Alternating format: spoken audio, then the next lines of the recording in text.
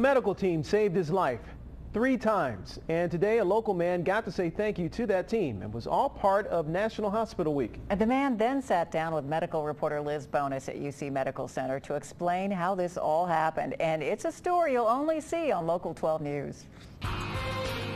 He was having dinner in one of his favorite restaurants when suddenly... I just slumped over the table, had no warning, no symptoms that I was having a heart attack. Talk about living right. Two physicians, part of the team here, just happened to be there to perform CPR. I think one was picking up a carry-out order. Two great physicians kept me alive for the ambulance to transport me to this wonderful hospital.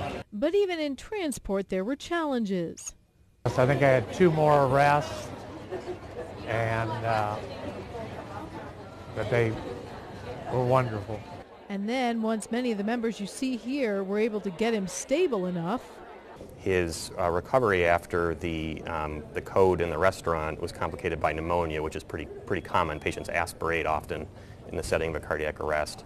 Uh, he underwent a hypothermia cooling protocol that we typically do after arrest and um, really needed ultimately to get to surgery to, to fix the, the coronary vascular disease that he had. I wasn't stable enough for the operating room. This hospital week, he got to express his gratitude, and so did his family members. All the teams of people were so caring and kind. As you might imagine, it was quite emotional. And you do some really amazing work. To see him come back is a privilege we don't often get. It, it, it really does remind you of why you do this every single day. So today, not only a special thank you, but a reminder to all of us that there are certain things that we too can know that might also help save a life. If you hadn't had knowledgeable people, skilled people doing that in the restaurant, he never would have survived um, to, to get to the hospital. And I think it's really important that everybody knows how to do that. That, once again, is CPR. Knowing it can give someone you love the ability to stand here and thank a team that clearly says thank you back. I'm grateful to be here. And all I can say is thank you.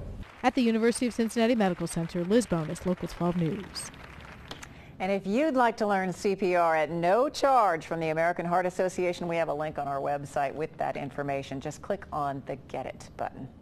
From